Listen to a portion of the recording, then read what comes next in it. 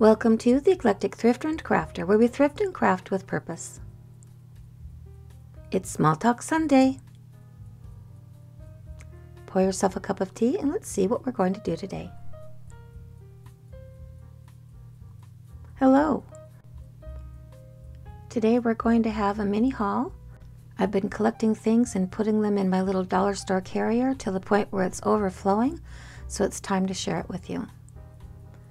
Firstly, we have this deluxe glass cutter kit. Now, I just purchased this because it has to do with the project I'm going to be sharing on Tuesday. And right next to it was this cutter for scoring plastic, so that's going to be a perfect addition to my little toolbox. And that will come in handy.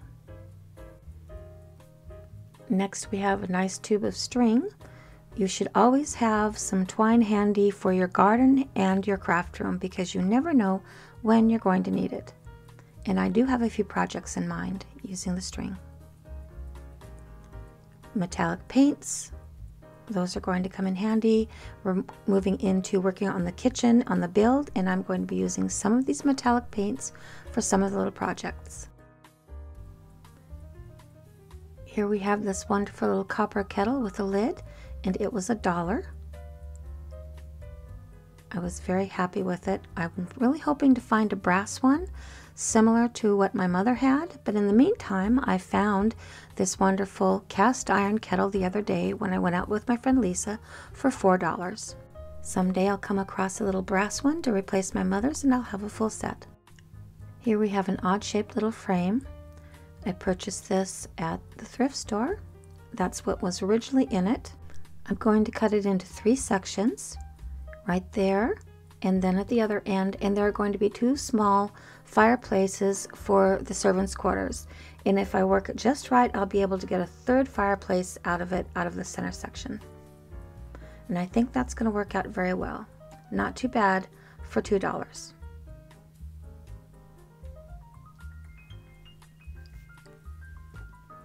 Next we have these skewers. These are vintage skewers. They don't have a high resale value I purchased these specifically for the figures at the top.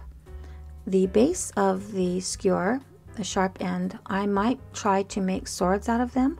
I'm not sure, but the tops I have plans for. I think the figures are delightful. The base looks just like a sword. I even shared that with my son. He thought that would be kind of fun to try and make a sword out of it. But I am going to use the tops for a special project, and I think that's going to be a lot of fun when you find out what I'm going to do with them. They're all going to be related with the build that I'm going to be completing this spring. Another ugly tree. One of these days we're just going to put leaves on all those trees.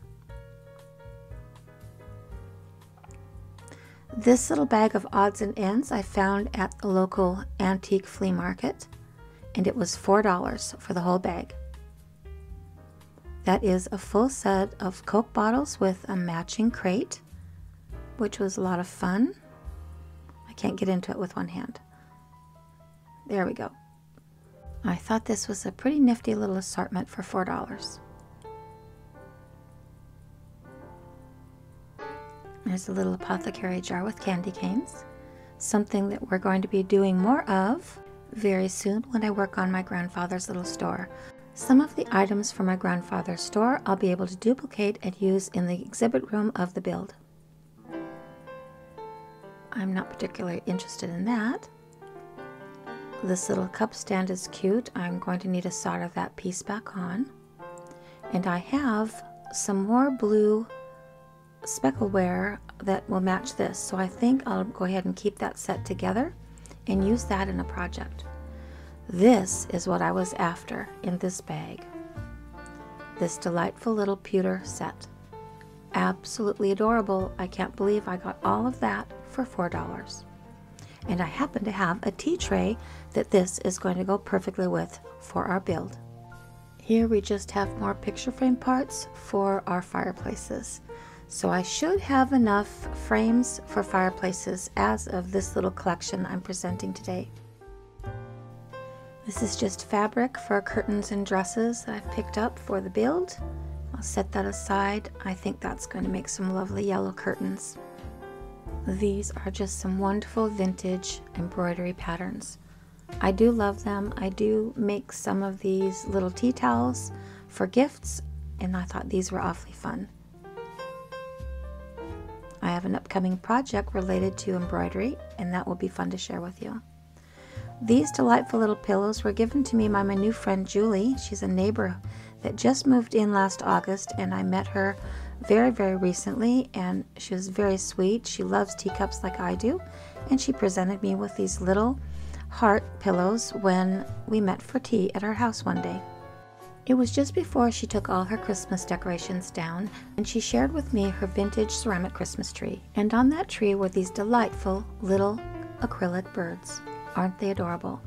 These little birds were inspiring, and so I found them on eBay at this little shop that you see below, Vintage Bulb Shoppe. I'm going to put the name of the shop in the description below so you can visit and see what their selection is like.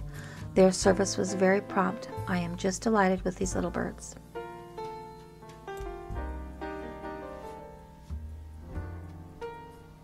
We have one more picture frame, and that was only 99 cents because it was a pink tag that day. That'll make a nice fireplace.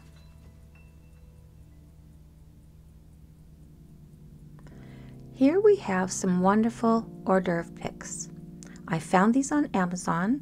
They weren't very expensive. This is one particular design, and they are just cocktail sticks. In the Jessica Ridley book, she paints these little plastic cocktail sticks for her sword decorations, but I went on Amazon to purchase some, and really it was a lot less expensive for me to buy these stainless steel ones than it was to buy the plastic ones. If you bought the plastic ones, you got 10 or 20 of them for the same price of these, or you had to buy a thousand of them. So I opted for these because they are stainless steel. This particular set comes in two different colors. It comes in bronze and it comes in silver.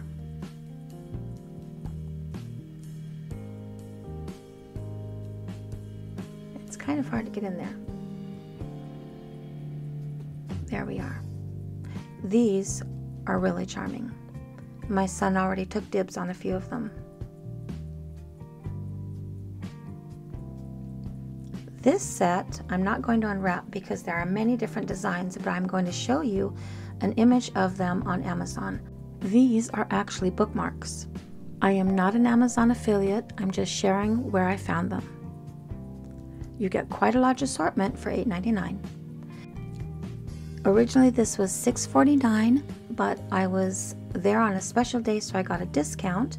These are wire crimp connectors. They are silver plated and I thought they would be absolutely perfect for an assortment of canned goods and other things in our build. The other canned goods that I made out of dowels, I'm going to shift those over and put them in the little box that I'm going to make my grandfather's grocery store.